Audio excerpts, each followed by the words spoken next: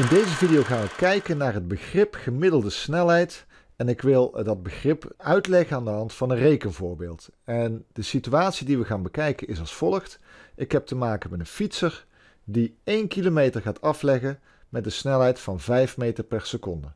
Wat doet die fietser? Als hij aan het einde van de kilometer is, draait hij zijn fiets om en rijdt hij hetzelfde stuk terug, alleen met een hogere snelheid, namelijk 10 meter per seconde. En de vraag die ik mezelf stel is de volgende: hoe groot is nu de gemiddelde snelheid geweest over dit hele traject?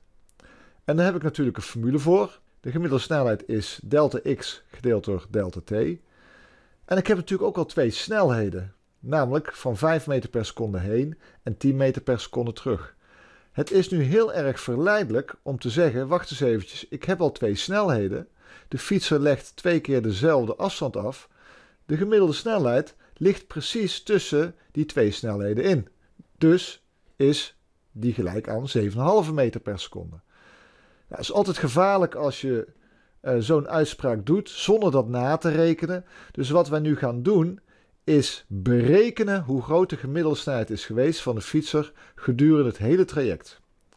En om dat te kunnen doen, wil ik eerst de totale afstand weten. Nou, die weet ik natuurlijk al, want de fietser rijdt heen en terug allebei 1 kilometer. Dus hij legt in totaal 2 kilometer, oftewel 2000 meter af. Uh, en ik zou dat willen delen door de tijd dat die fietser bezig is. En daar zit hem een beetje het probleem, want die tijd die weet ik nog niet. Die moet ik eerst gaan berekenen door los van elkaar de tijd uit te rekenen die, die hij erover doet om heen te gaan en de tijd die hij erover doet om terug te gaan. Nou, we beginnen met heen. Uh, de formule is delta t is delta x gedeeld door v.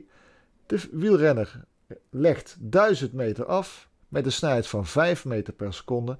Dat doet hij 200 seconden over. Hetzelfde gaan we doen op de terugweg. Bereken de tijd terug. Uh, de afstand is natuurlijk hetzelfde. De snelheid was hoger. 10 meter per seconde. En daarom dat hij terug er maar 100 seconden over doet. In totaal doet hij er dus 200 plus 100, 300 seconden over. Om uh, wat te doen ook alweer? Ja, om die afstand van 2 kilometer af te leggen. Nu kunnen we de gemiddelde snelheid berekenen, want daar hebben we die formule voor. De gemiddelde snelheid is de afgelegde weg gedeeld door uh, de tijd dat hij erover doet. En dat is in dit geval gelijk aan 2000 gedeeld door 300 is 6,7 meter per seconde. En je ziet dus dat dat niet gelijk is aan 7,5 meter per seconde. Dus dat het belangrijk is bij gemiddelde snelheid om altijd even na te rekenen of dat wat je denkt dat het goede antwoord is, ook daadwerkelijk het goede antwoord is.